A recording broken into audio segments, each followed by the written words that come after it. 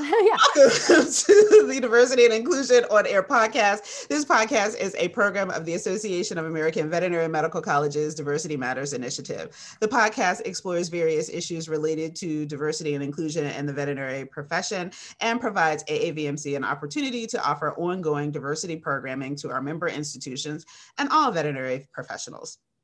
My name is Lisa Greenhill. I'm the Senior Director for Institutional Research and Diversity at the AAVMC.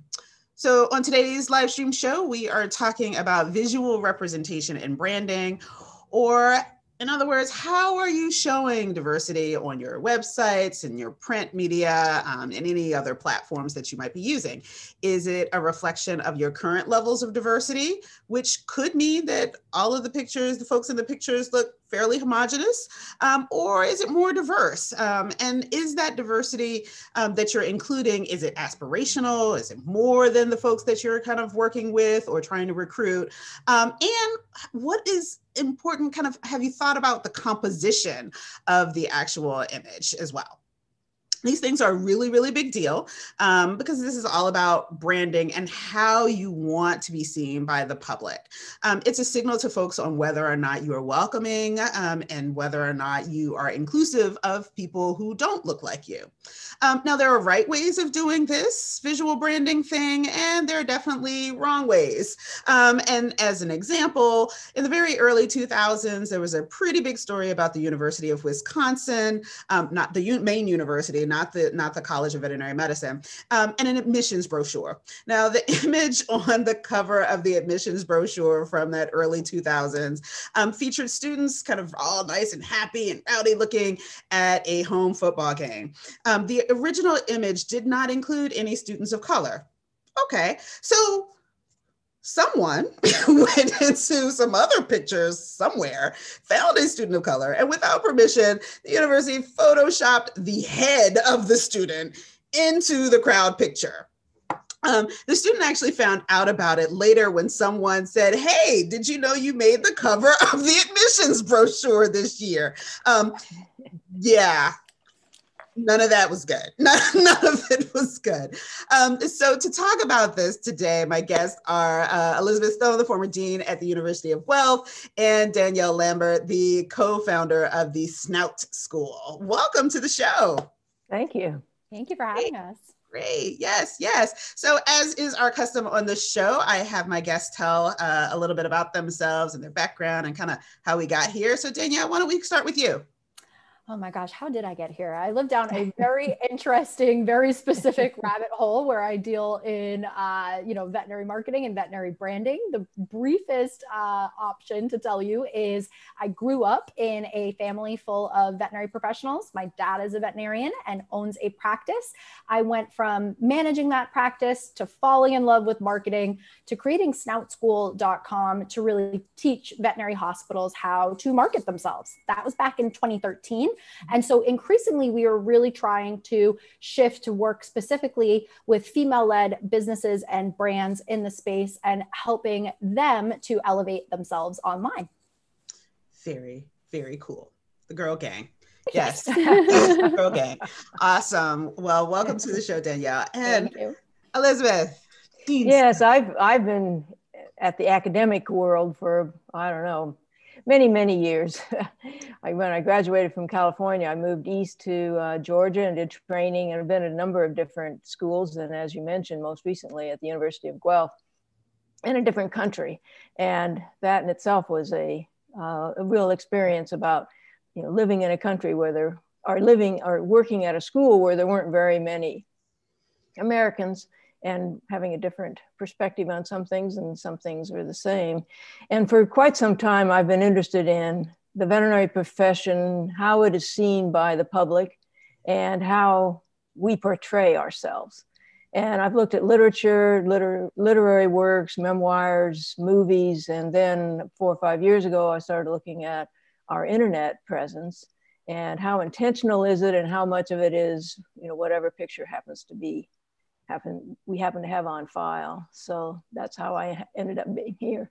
Awesome. So, well, why don't we dive in? So, uh, Danielle, we're going to start with you. Uh, can you define branding and this whole marketing thing. And, yeah, tell us what it is that we're supposed to be talking about today. Right. it is a whole thing, right? Like it's like honestly a genuinely hard thing, I think, to define in a lot of ways because it is a very holistic thing when we talk about branding and marketing. There's so many components that go into it.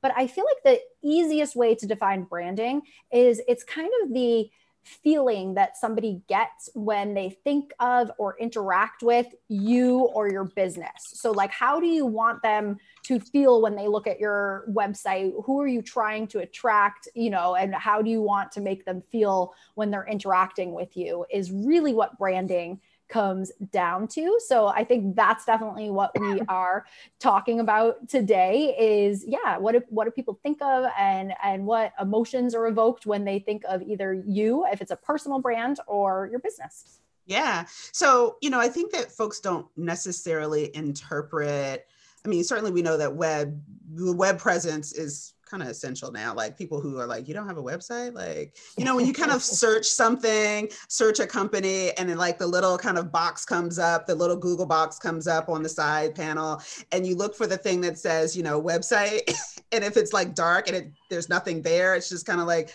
are you are you a real company in this day like how does that work? Uh, right? Um, so college websites though like this is a part of their brand right? This is part of recruiting and it's a part of kind of donor relations and all of that stuff too right? Yeah. Yeah without you know without a doubt. Web pages have kind of grown organically i suppose oftentimes out of an it department from in the in the veterinary schools and the organizational structure of who's in charge of it and, and how do they decide what goes on the web page is sometimes quite blurry and oftentimes they're just very newsy you know whatever mm-hmm. happens to be in the news or whatever interesting animal comes in the hospital then it gets featured or whoever gets an award and there's not perhaps as much thought given to what does the web page look like as a college would give to say their brochure or their their mm. magazine that they send out that you know we want to be sure that we cover you know this and this right. and this.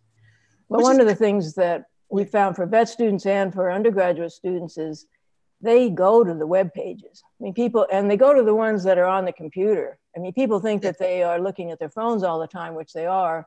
But when they want to find out you know what are admissions requirements or you know what does a school look like they'll go to the website and they go to the homepage and if the first impression is so important. You know, do they do they see a place that's welcoming that fits that they they might fit into that they would they would like to go, and then they may go on and explore other things. They then may sign up for the Facebook page or the Instagram or whatever. Yeah, I mean, even on our, you know, social media, I mean, I'm sorry, on our web page, um, the, uh, you know, pages associated with admissions are like the biggest driver, right? and we just we just went through um, a web redesign and, and things, but it's always really really interesting how much time um, we learned a, a, tough lesson a long time ago um, about how important it is to kind of vet images and be really intentional about images. Um, we almost had a photoshopped head situation it was it would it was bad we it was we had a floating head draft that it's like Voldemort. Like it should not be named, right? And so, um, but but now, you know, we spend a lot of time not only thinking about diversity and the composition around diversity in our images um, online and in print, which we are moving away from print. Um, we also spend a lot of time around um, what images portray different kinds of practice different kinds of animals. And i mean you know we um, now produce uh, short videos and that type of thing before our annual conference. And i mean you know it wasn't a knockdown drag out but it was a very strong conversation that we had last year about you know a mouse uh, versus kind of pipette situation regarding you know veterinary research right? And so um, the mouse was super cute because these were also animated, like, but you know, and we could tell were on pipette. Right, an animated pipette just doesn't yeah. compete very well, right? And so, um, but these things we spend a lot of time thinking about yes. it, and and I'm so what I'm hearing is like that that's a good thing. that you know that's a really good thing. And, and speaking of of making videos, even the picture that starts the video out sometimes no thought is given to that. But but if you just look at the screen, that's what people are going to see, even if they don't click on the video. And if it's just some kind of blurry thing of the back of a building, that doesn't mean anything. So I think you know that even that link is yeah. is really important. Yeah. So yeah, even the um, you know when you're producing on uh, YouTube, kind of going back in and putting a cover another right. on yeah. yourself yeah so it's just not kind of out there um danielle any suggestions on kind of thinking about these kinds of things like yeah, I think again, it comes back to thinking about who your ideal follower is, the way I think of it in social media terms. Who is this ideal client, the ideal person that you want to be bringing in, right? And what do they want to see? How do you make them feel comfortable? How do you communicate to them that this is a place for them? Right um, i think those are kind of the the things that you have to get a lot of clarity on i think in veterinary medicine especially when we talk to the more like practice level mm-hmm. veterinary clinics fall into a trap of really trying to be for whoever shows up and serving whoever comes through the door, whoever calls, like, okay, that's my client. I think it is really, really important to be intentional about knowing who you serve and then representing that visually online for sure. Um, so, yeah, I think just having some clarity uh, in terms of who you're trying to attract is kind of the most important first step. Yeah. So, Elizabeth, I know that you've done um, a kind of a study of websites of the colleges. So, you know, in in in five words before we really dive into it, or maybe it's a thumbs up, thumbs down, thumbs in the middle kind of situation. How are the colleges doing on representing uh, diversity among you know students, faculty, and staff on the websites? I guess it's a thumbs in the middle. I think okay. the numbers are there. I mean, we're, in fact, the uh, Blacks, for example, are overrepresented on our websites compared to what they, what exists on the, um, within the student body or within the faculty. And the same with men, although not to the same, not to the same extent. And there's a real risk in, in going overboard doing that because somebody looks at the website and they think, oh, wow, you know, I'm going to go there and there's going to be all these people that are like me. And then they go, they go on their tour and they're looking and this is not Tuskegee. Where I don't go. I don't, I don't see them, you know? so uh, yeah, I think that's, that's the, that's the challenge. How do you, how do you show that you support diversity when you're not diverse to begin with? Yeah. You know, that you have aspirations to, to be better at it and you're not that way. And I, I think that's something we can talk about. So, what are some of the biggest um, kind of things that that drive that thumbs in the middle that you found um, in reviewing some of the college sites?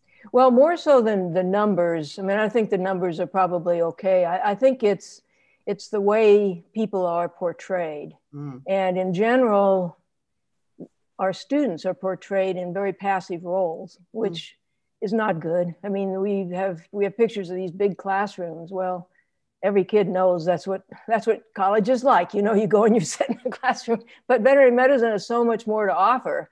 I mean, we do a lot of hands-on. There's a lot of learning by doing, and so more of those kinds of pictures. There were more white men instructors than any other group, and oftentimes they were at the center surrounded by students that were mm. more or less interested in what they were showing. I guess depending on whether or not they realized a picture was being taken, I don't know as to how how how engaged they were. And it's so much better when the instructor and the student are working on something together or two students are talking to each other because of course that's what they do when they go into practice i mean they're talking to clients they're talking back or even by themselves yeah. and then and then students that are just enjoying each other yeah. so you know that's that was one thing the other is where are the minorities placed and mm. what you know, what are we trying to say? And unfortunately, in the group shots where there'd be like four or five students, oftentimes the minority student was at the edge. Why? I don't, I mean, if I asked somebody, they would probably say, well, that was the way they were walking. Well, that may taste, say something in itself. Or, you know, they're lined up and they're, you know, the one person is over here. Or did somebody say, oh, yeah, we need you, you know, to come over here? I don't, yeah, I don't know. The other, the other area which I found disturbing was trying to increase to show we're diverse by showing pictures of children, mm. of minority yeah. races, and pictures of international development, and oftentimes children. So it reinforces this stereotype of neediness and deficiency. And, you know, there's the picture of the white faculty member in Africa surrounded by Black children. Yeah. Well, I mean, what, do, what, what does that show? How does that help what it is that we're doing? And, you know, that would be the time if, if there's any where that person is shoulder to shoulder helping somebody learn or they're doing something together, which is probably what they are doing in that. I mean, they're not, they don't go to Africa to engage with children in large groups, more, more than likely. So uh, some of those, some of those stereotypes, I think we need to think more about. The other stereotype, and it may affect me, and it may be a generational thing more than others, but there were if there was going to be a person holding a cute dog and letting it lick them or down gazing at it, it was going to be one of the women. Mm. You didn't see that with men. And I realize everybody, you know, people love animals and all, but they're not doing anything other than just gazing or just, you know, they're just like overwhelmed by, you know, how wonderful this is. and I know personally when I was in high school, if that was my image of a veterinarian, I, I don't know, I, I, probably would have gone some other, you know, maybe have gone some other route. So I, I think that's something to think about too. They are really good pictures. And I think when people sometimes I think of marketing, let's get something that engages people, but we're not, you know, we're not selling products here we're selling us doing something. Right. So yeah so if you're going to have those lovingly gazing into the golden retriever eyes maybe we need some dudes or dude yeah I think some dudes or dude presenting. If yeah if they're going to do that yeah. some some more masculine presenting folks so that we can at least even that out right? If, yeah if that's what yeah if that's if, you know if that's what we want to show that that's what we are. But i mean i really appreciate the comments um, about that composition piece is really important because it does it's like the person is off to the side and yeah and off to the side and just you know they're there and they're part of it but you know, can we get more, um, um, you know, not triggering, but can we uh, make us think that this person is literally off to the side? Yeah, and that reminds me of there, there was a picture of there was there was three people you would have liked this because they were holding mice, so that was really cute. But there's two women that are talking to each other, women students, and they're looking at their mice. There's another woman over here. She seems happy enough. She's holding her mice. Well, the two women that are talking are white, and it's a black student that's over on this side. Mm-hmm. Well, again, it, may it was who knows. They may all talk all the time, but the image again is just just sort of this. Oh, okay. Those are the ones that fit in, and then there's this person here and some of it is the uh, photographic technique, mm-hmm. which I think schools really need to pay more attention to. Some, some schools, when they do their labels for different pages, they blur out the background so the label stands out. Well, if you're going to do blurry, people with darker skin, you, they're going to be more blurred than somebody with a you know a lighter skin, and you can at least see their eyes. The others are blurry. Yeah. Or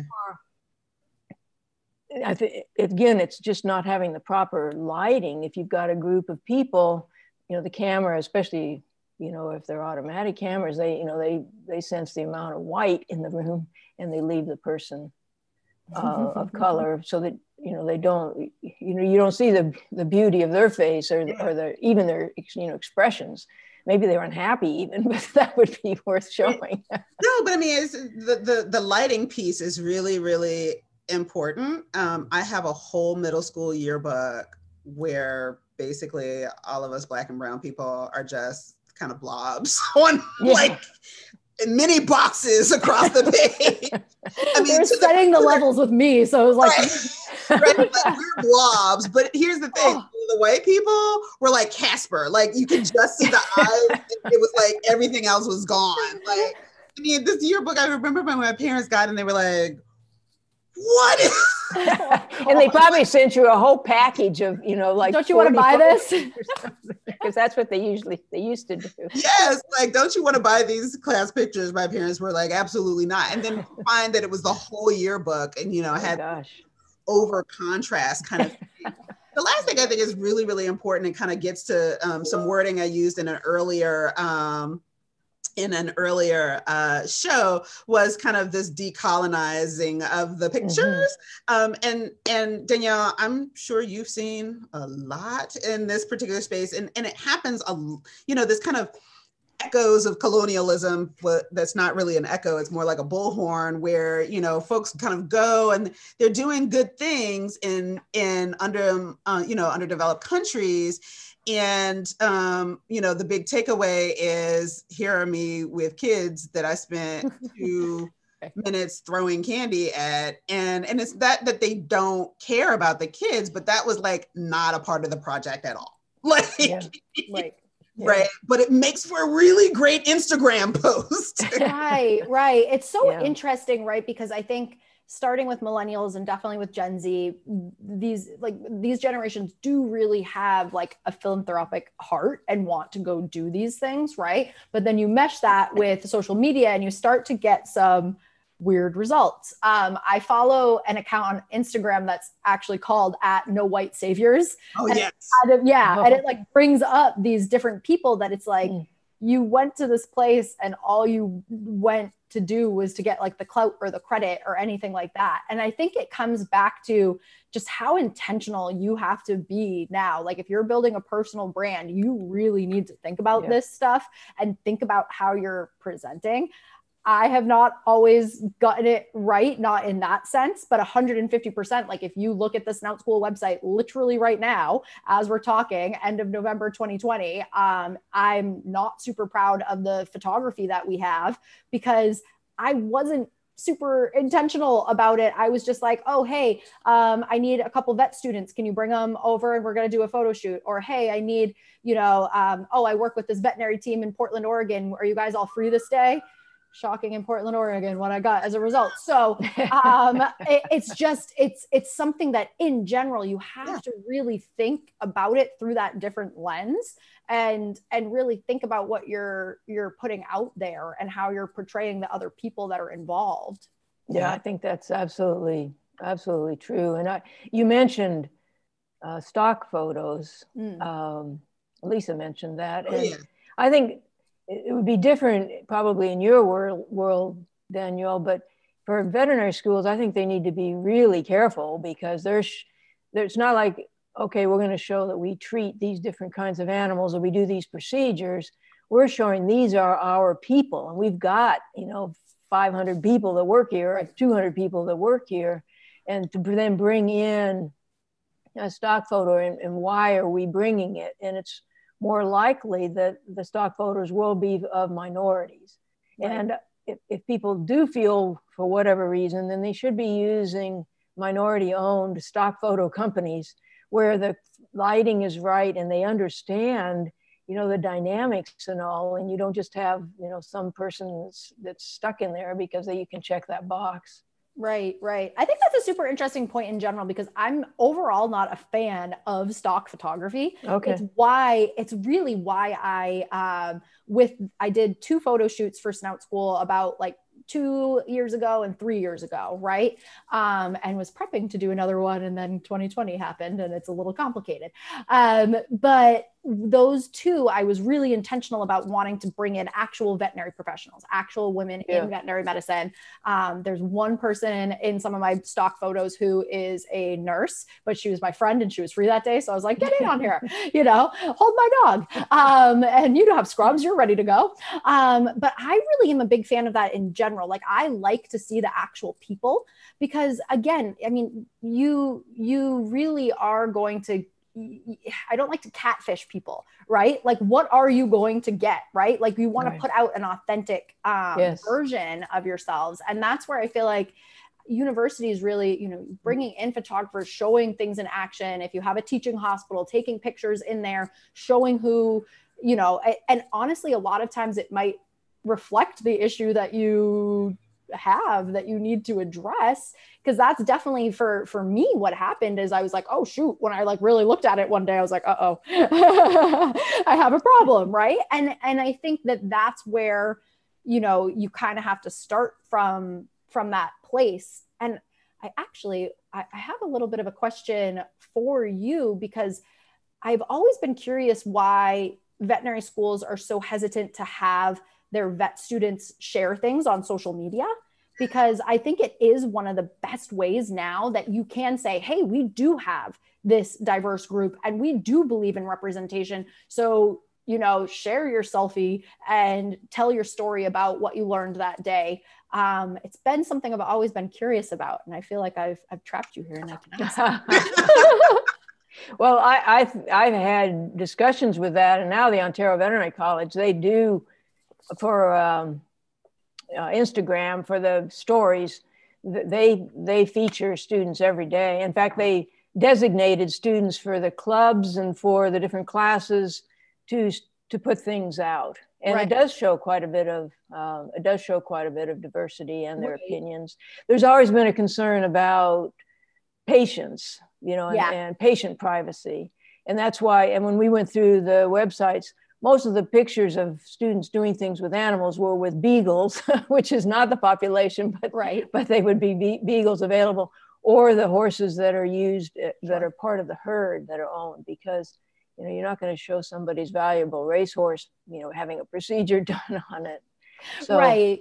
You guys have always been so like um, Ontario Veterinary College, I should say, has been one of the more proactive and like um, modern about yeah. this kind of rule. I can remember uh, there was like the externship project, like a blogging series that they. That's right. Yeah, they still are. Yep. Yeah, yep. that started while I was there, and it's continued on. But, yeah. But the communications people there are very forward thinking yes. about that, and and at the time, I'm.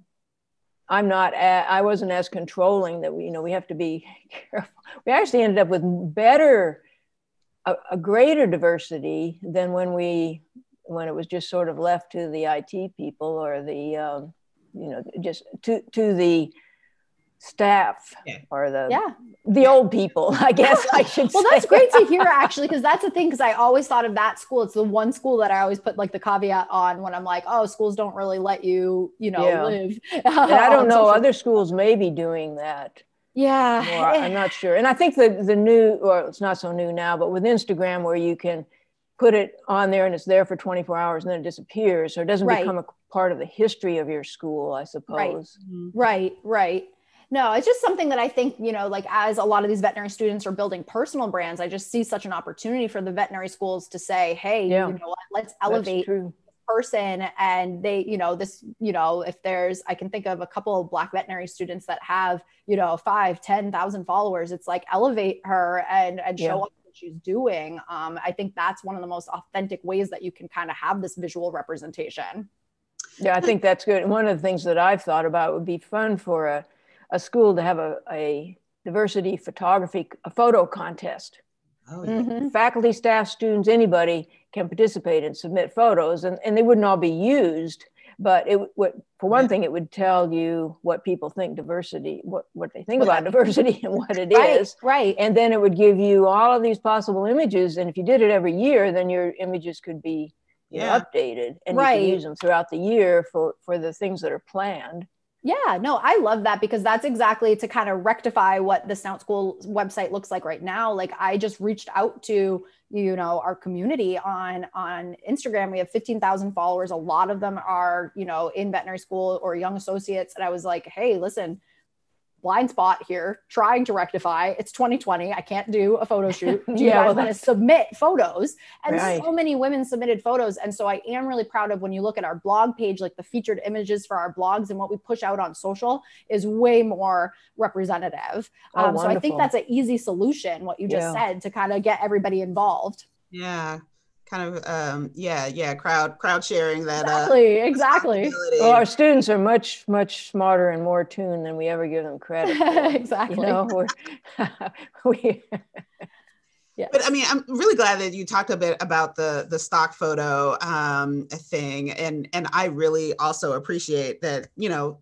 that's really not the direction we want to go in. However, well, yeah, that folks are insisting on using, um, and Elizabeth and I have laughed about this before. Um, you know, the the ubiquitous yoga tree person to talk about well-being, like who's like on a rock somewhere at sunrise or sunset doing salutations and meditation.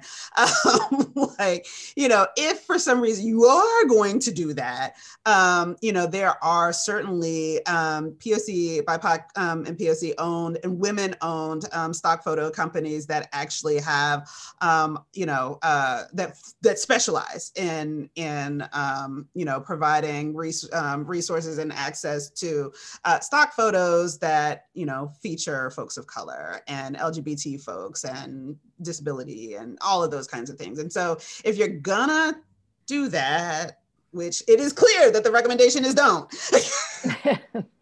but I'm thinking like maybe for some of those very small practices that, you know, Danielle, you might be working with where, you know, there might be, aside from point and shoot on the iPhone 11 Pro, the, you know, there might be a need to augment. Yes, those. absolutely. And then I think, you know, it, it comes down to, you know, really just kind of, yeah, like you said, being intentional about what you include. If you're going to do it, it's not ideal, but if you have to do it, be intentional. Yeah. Yeah. yeah I think that's, I think that's what's really important. Yeah. And then um, the lighting, as mentioned, I mentioned my yearbook. Um, there are also, you know, if you are on social media, especially Instagram, um, there are wonderful, wonderful, wonderful black and brown um, photographers that, you know, are doing all kinds of cool stuff on social media that will teach you how to properly light folks with more melanin because. Yeah you know um, and i mean and this is we're kind of in a I don't want to say a golden age, but I mean, you know, just in my lifetime, I'm like, this is the best kind of lighting age that I've lived through. But I mean, now that we're seeing more creators of color, um, certainly online, but also on TV, um, lighting has improved on those shows, and you can see the difference. How, oh, without a doubt, yeah, without a doubt, you can see the difference in the richness of you know colors and not just for folks but just everything in that scenery. And i mean i just think of a couple of shows like um you know well almost all of shonda rhimes shows right? Um, um how to get away with murder when the lighting was really really amazing. Um and it was important to her and to viola davis as you know a darker skinned uh, woman. Um but also shows like queen sugar and, and others movies that are coming out. The lighting is different. And folks may not know it um, or notice it, but I do. People like me, we notice it because like we want to look good, and lighting can ruin everything. Yeah.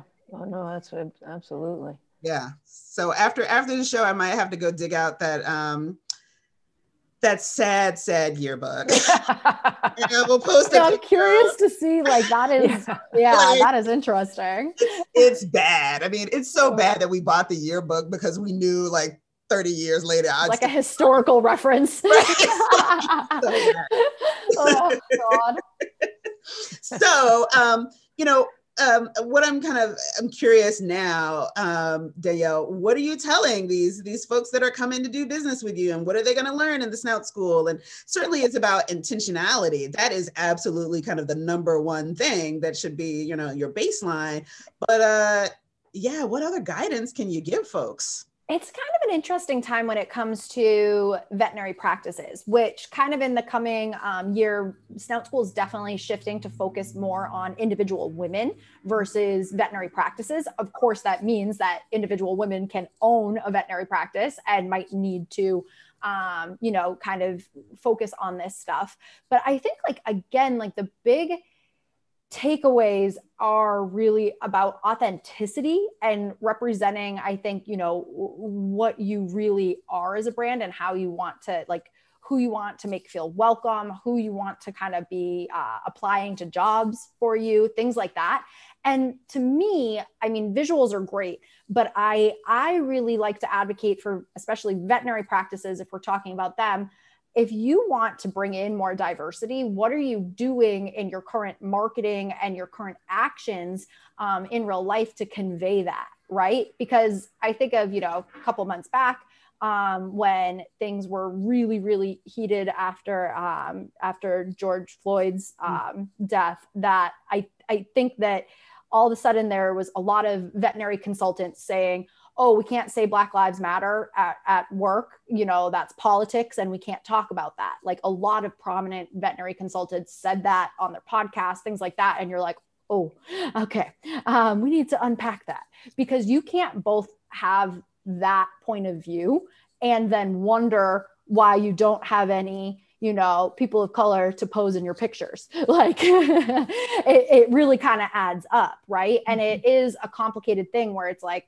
okay, you're out here and your messaging all the time is that, you know, all pets matter, but we're really not super uncomfortable, you know, super comfortable that we, you know, agree that we want to support every human life on the same level. So I think to the practices that I work with, if somebody comes to me and they say, you know what, we looked around and we realized, you know, we're not super representative of the location that we are in, and we want to foster more um, you know, people of color on our team so that we, like I said, even have them to be in the pictures to begin with.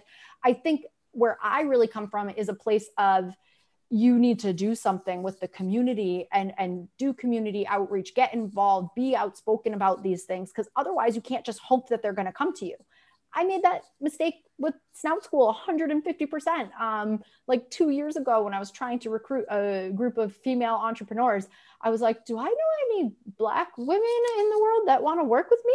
And and surprisingly nobody showed up you can't just be like hey you know um, you have to put in the work and and you have to you know be authentic about it. And so i have really invested in educating myself and trying to you know support different communities in the last couple of years. And don't you know when i have a bunch of women applying to my personal branding boot camp i have way more diversity than i used to. Instead of like you know 10 40 year old white women that are specialists so they have the money for the program and that's it i end up having a whole diverse group of, of people. So i think to me, I really go back really deep to basics. Like, I can't tell you how to market your way out of this. You know, you need to actually be authentically invested in these communities and do things that matter for them. And that will attract the right people to you if we're talking about employees. And same thing for, you know, team member, I mean, uh, for clients too, pet owners. Absolutely. add to that, it doesn't always don't, you know, don't approach it with deficit thinking, right? So that right. doesn't necessarily mean engaging communities of color all the time. I mean, certainly some communities of color will need um, like free or no cost like vaccines and spay neuter. Absolutely. But please don't think that that's the thing that gets you the big by itself diversity check, but like very see, bad. That also bothers me inherently. That bothers me, yeah. right? Because I don't like the assumption. It's like it's that does come up exactly. That does come up. I'm like, there are you know affluent people of color that might want to come to your bougie clinic. It doesn't mean that you need to discount you know prices to attract people of color. It just means again in that kind of situation, say you're in a city right? Yeah. So you've got like a diverse um, population around you, but you're in an expensive area of the city, right? Then that's where it comes down to, you know, saying these things on your social media, talking about them, just talking about this stuff, talking about how you interact with the community and what you do. Um, but that could, you know, attract that that bougie client of uh, of color. There's plenty. Yeah, it exists. Yeah, yeah. You're, you're going to attract Lisa to your practice, and wouldn't that be fantastic? well, I think that brings up, you know, I was talking about, you know, pictures of children or international development. Right. The third area where colleges show diversity is when they're doing community outreach and they're doing low cost or no cost clinics. And then they show you know the student with you know with the uh, person of color and their dog. Again oh, that's okay. But if that's the only again you know then then somebody who doesn't identify with that they may also be a person of color but they don't identify with somebody who who need subsidized vet care. I mean, they've right, always right. had a dog, they've gone to the vet, they want to be a vet. They want to be a vet that can charge money for what they do because they have a clientele. Right. And yeah. I, th- I think that's that's not just an image image on the website problem. I think it's a problem for the veterinary schools where they students, if the only way that they're learning primary care is through low cost services, then what does that tell them about how they're going to make a living? And, and you know, are they going to then feel guilty about charging for what they do? Mm-hmm. And you know, that's that. So yeah, no, but I mean, you know, Elizabeth, I think it's important for folks to realize that that there is, there are inherent biases when you kind of pull back some of the layers and that and we're not saying don't do the clinics because we keep doing the clinics um, but recognize that if that is if those kinds of images on your website are the only depictions of yourself with those communities you know right. folks of color please know for me i'll be really blunt shocking right? Um, it's exploitive. It's exploitive of yeah i think it is. And, um, and, and but even just doing the clinics without involving the community leaders I mean, it, it needs to be some kind of a partnership. It's not just, okay, we're going to go out, we're going to do, you know, this, you know, again, like what you were saying, you know, check off, okay, we've done that. All right, now we can come back and, and keep doing what we're doing. It, no, yeah. how do you get more involved with the community? And that does actually bring up something that I was that I wanted to mention because you were asking, well, what can schools do if they're not very diverse? I mean, oftentimes their student support people are more diverse. And I don't think some people may say it's tokenism. I, it depends on how it's presented, but I think showing pictures or images of the people who can support minority students is a good idea because if somebody comes into a new town and oftentimes people are moving to a new community well you know what you have to do. You have to find you know where can you find the food you like? Where can you go get your hair done? Where can you where's a place of worship all of these different things.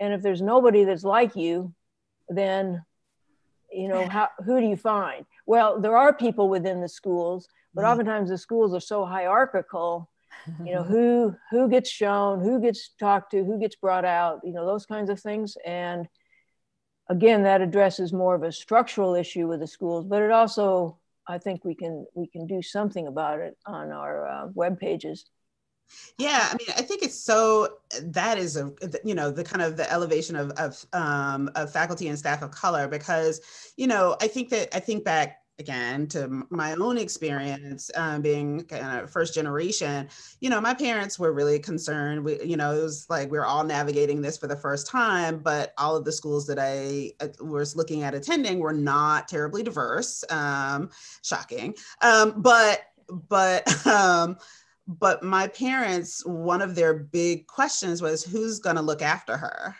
right do you have yeah. faculty are yeah. there staff around here that can can show her where the, that she can ask where these things are for basic kind of living needs. Um, um, how will she build community? Will somebody be there to kind of usher her in? Like can she get um, you know folks that are um, you know potential mentors or just confidants you know just yeah. in that space? And so you know i don't i think that it is really important to make sure that there's some visibility to those folks as well. Yeah I mean, it all comes back to like, how do you want that person to feel when they're looking at this, right? right? And so I think to kind of show off those those kinds of people and those kinds of roles, yeah, maybe you don't have a, you know, we don't have a billion black professors. Let's be real, right? right. But hey, we do have these people in our community that are going to show you around because especially if you're being shipped off to vet school, you're probably going to a cornfield somewhere. So like you want to kind right. of know, well, that's you know, that there'll be somebody, you know, like let's just yeah. I I am in Worcester. I'm a couple minutes away from uh, Tufts, right? I grew up in Grafton, Massachusetts. Like I don't know. Like if a black girl ends up at Tufts, I don't know where the hell she's going to get her hair done. She's going to have to know somebody from the area that knows like where in Worcester you can go. And I think that's huge. Yeah, it is. it is. It is huge. And I think, and I've only recently been thinking about this more and more that many of the veterinary schools are from they're in universities that were historically segregated until yeah. you know the 70s yeah. and so the parents or the grandparents i mean they had the experience or they would never even walk on the campus and so there's a lot of you know I, I, that that what we have inherited our heritage as veterinary schools um, there's a mm-hmm. lot there's a lot to overcome and a lot that we don't understand which of course is why we need to have a more diverse advisory group that's saying you know, you know this is how it is. Yeah. Yeah. Yeah, when I very first started um, my career in vet med, I would go and you know schools would have me come out to to do some diversity work and, and programming and speaking and stuff. And I would actually sneak in the night before. Um, I try to sneak in the night before, and um, you know I have a rental car and I'm driving around like, okay, so can I identify where I can get hair products? Um, we were still all women. Women were wearing pantyhose still at that point. Like Thank God that's not a thing. They're yeah, so annoying. Like, those days. I remember the day my mom finally stopped yelling at me about it, and I was like, yes. so, but I would try to find like, okay, so is there a yeah. store like you know in spitting distance where I can get pantyhose that are not nude or suntan, this so that I don't look weird. Like, I mean, I brought my own, but I'm just kind of wondering if I was a new student yeah. in the area, you know. And even then, there were times when I could find stuff. But again, composition and placement and all of that kind of stuff, and marketing and branding and all of that stuff is so important. Stuff would be at the bottom of the shelf. So I'm like, you know, on my knees in like Walgreens and Fort Collins, like, you know, like, oh, look, they have like brown, you know, it's just, you know, and I was able to find some, you know, hair products or whatever. But, but this is something, and I remember, you know, when I would have my chat with the deans and associate deans, and was like, yeah, I slipped into town. And like, it's hard for, it would be hard for an African American student here um, because if you know women can't find our hair products and i mean i wear my hair really short i'm like you don't have no idea around the culture around black barbershops. Like the, the brothers are not gonna be able to get a lineup and it's gonna be tragic. Like it's really gonna not be a good thing. And so, you know, and it, it, it took a long time for folks to really try to understand what I'm um, um, you know, trying to, um, to, to say, but having that, you know, um, that black male faculty on, um, you know, who doesn't have a jacked up haircut on the website is important because black male students um, will then know there is somewhere that they can go to get a decent haircut. Yeah.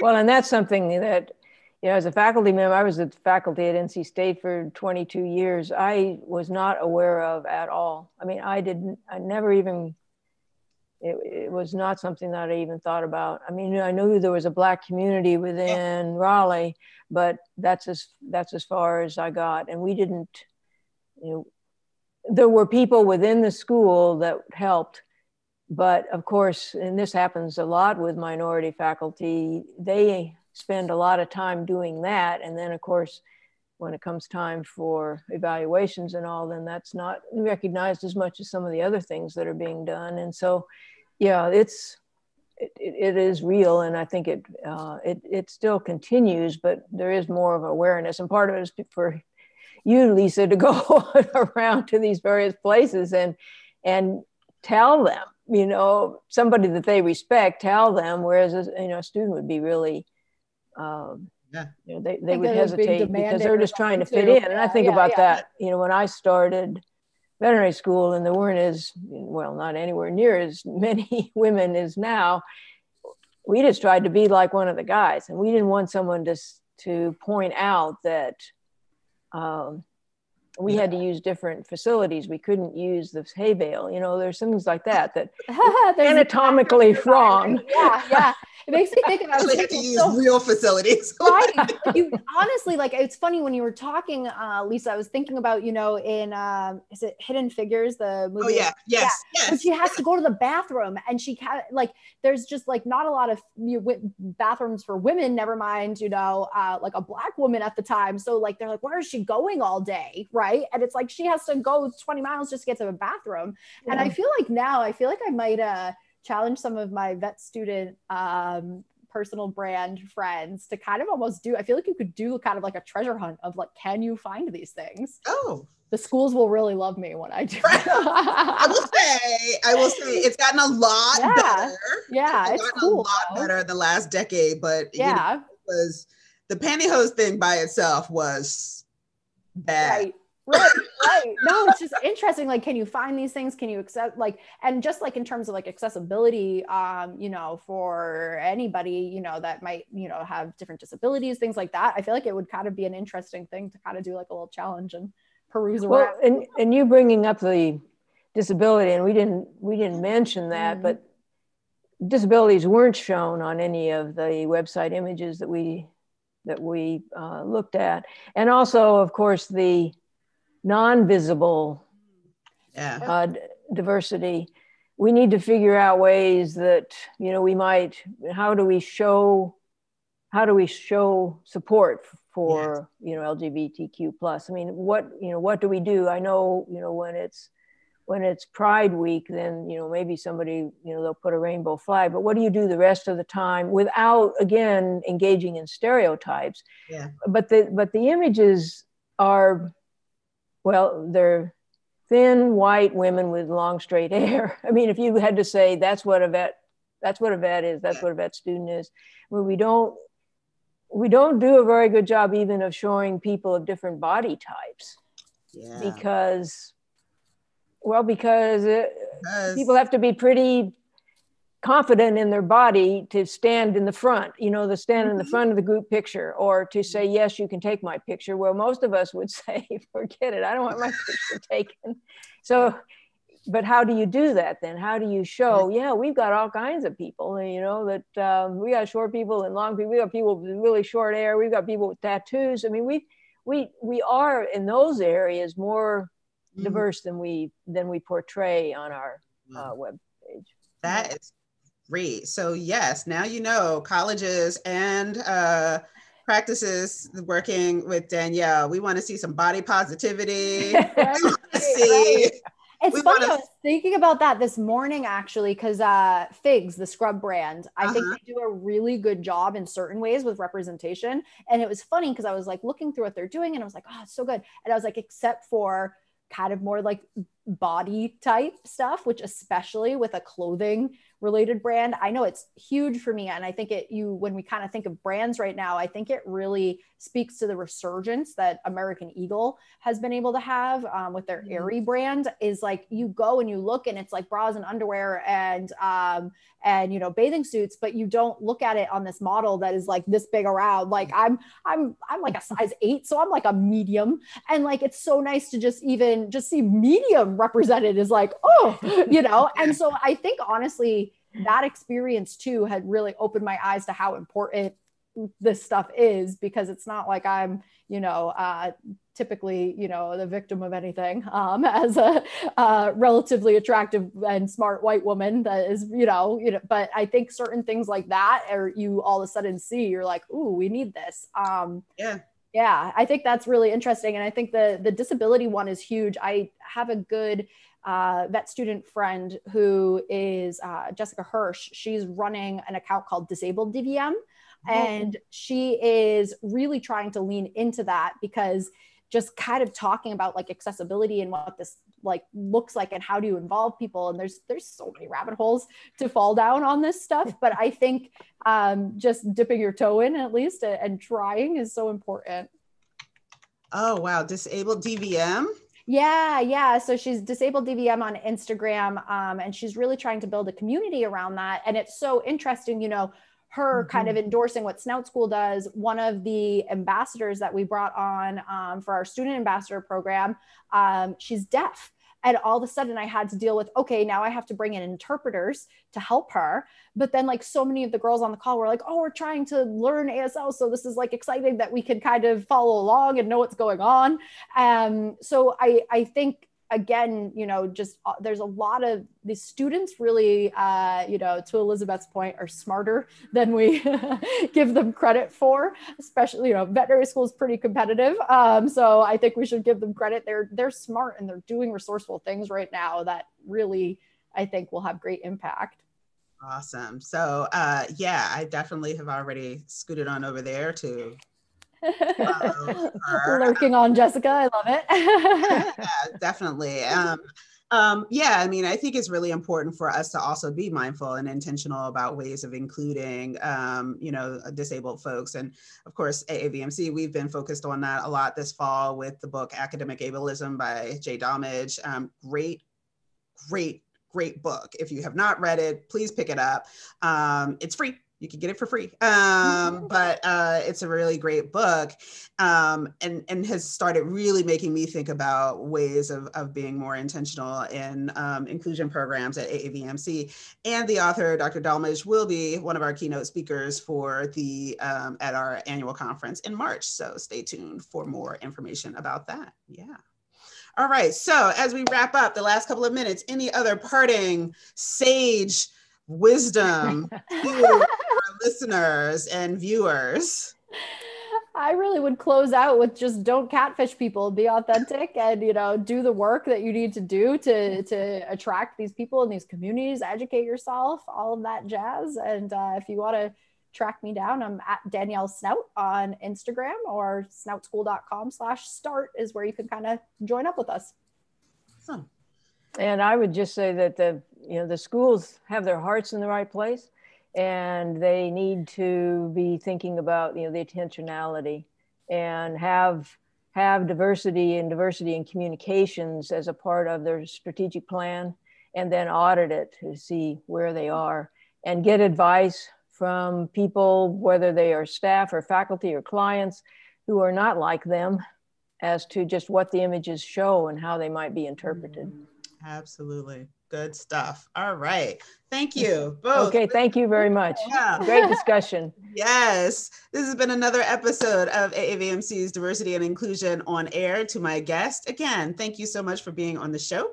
You can subscribe to the show on your favorite podcast app and be sure to like us on our Facebook page, AAVMC's Diversity and Inclusion on Air. Thanks so much and see you next time. Thank you. Bye bye.